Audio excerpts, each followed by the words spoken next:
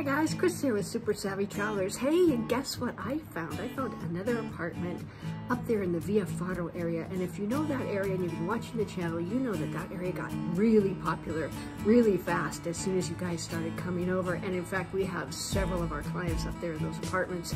Um, they went up in price. They went up quite high, in fact. So this one is an incredible value. One bedroom, one bathroom, spectacular views, which is why you go to the Via Faro area in the first place. Take a look.